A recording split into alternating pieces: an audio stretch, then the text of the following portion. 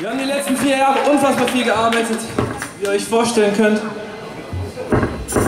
Songschreiben ist unfassbar anstrengend.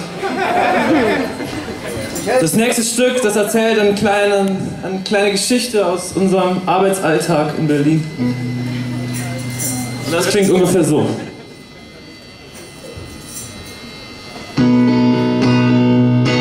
Wenn du mich suchst, du fliegst weg und Pfandflaschenautomat.